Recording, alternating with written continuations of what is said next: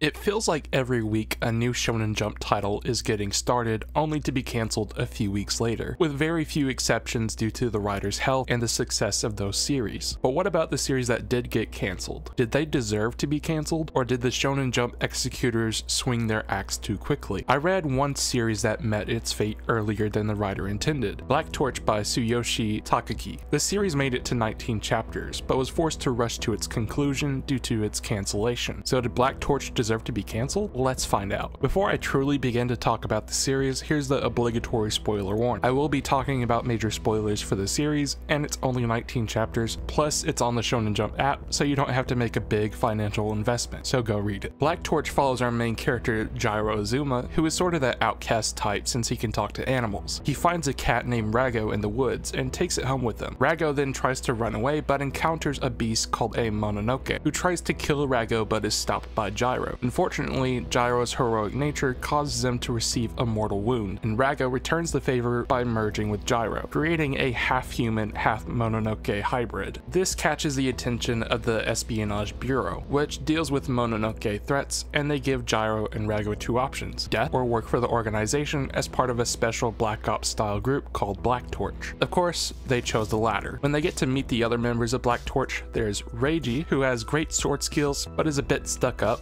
and has some prejudice against Mononoke, which causes some conflict between him, Rago, and Jiro. Next is Ichika, who's a bit feisty, but has her reasons, and as the series progresses, she opens up more towards the group. She also showcases that the mangaka likes to draw certain assets, although I would like to remind you of a certain detail.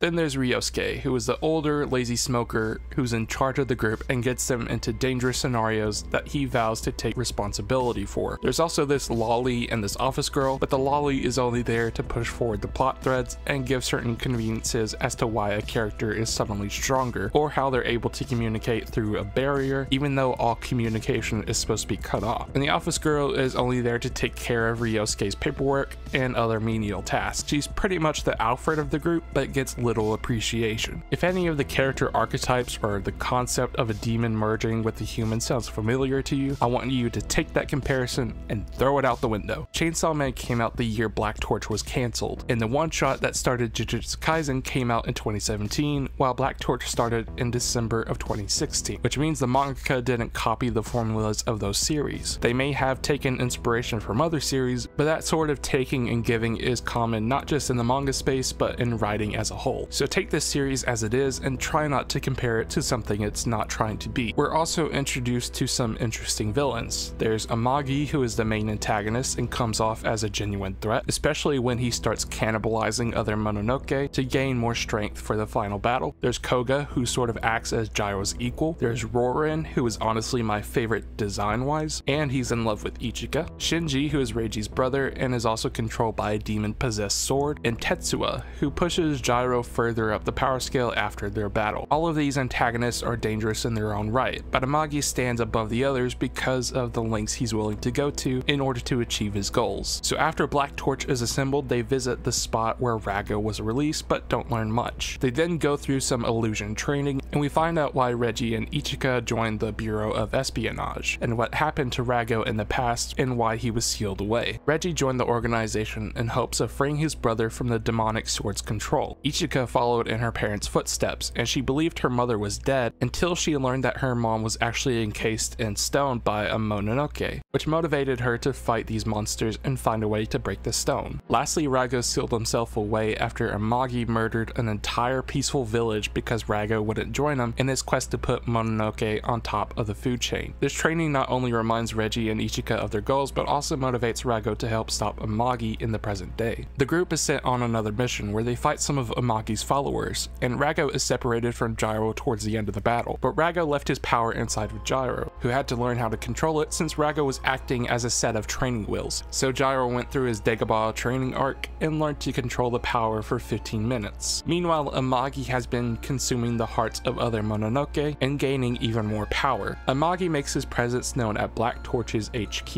and we get an epic battle between Mononoke and the Bureau of Espionage. Jiro goes to face Amagi on his own, merges once again with Rago, and kills Amagi. We then get a few pages of Jiro writing down a report which gives exposition for what happened to certain characters. Shinji still remains under the control of the Demon Sword. Ichika's mom is still trapped in stone, Koga has gone MIA since the final battle, Rorin remains in custody although he doesn't mind it, and Jiro remains at Black Torch ready for any potential Mononoke threats that might show up. It ends in a way that says this world will continue to live on and there are more adventures to be had, but as the readers, we won't see those events, giving fanfic writers the perfect continuation point for their own stories. But I think the ending we did get is the most satisfying option the writer had. Although Black Torch had a short run, there were two themes I noticed in the story, trusting and working with others, and seeking harmony between species. The first is explored with Jiro and Rago. Jiro up until his merger with Rago had only relied on himself to get out of situations. Rago is the same way, he wanted to leave Jiro and take care of his problems by himself, but after his heroic acts, Rago returned the favor. Not only do they have to learn to trust one another and work as one unit, but they also have to give the rest of Black Torch the same treatment. As the writer John Donne said in his poem No Man is an Island, no man is an island entire of itself. Every man is a piece of the continent, a part of the main. If a clod be washed away by the sea, Europe is the less, as well as if a promontory were, as well as any manner of thy friends or of thine own were. Any man's death diminishes me, because I am involved in mankind, and therefore never sin to know for whom the bell tolls. It tolls for thee. Jiro, Rago, Reiji, and Ichika are no longer islands, but a continent, so when one of them struggles, they go to help one another. When the others are needed to help stop Amagi, they answer the call. They're no longer individual soldiers, but a unit. They are Black Torch. The second theme is harmony, specifically living in harmony with the Mononoke and humans. Amagi's whole quest is to put Mononoke at the top of the chain of command, returning to the times when Mononoke were treated as gods and humans were treated as lesser beings, like lambs for the slaughter. But Jiro and Rago disprove that one species has to be on top of the other. They're able to live together in harmony, with none being higher than the other. They're able to live as equals. The same could be said about Ibuki, and Manjimaro also proves this since he was once a human,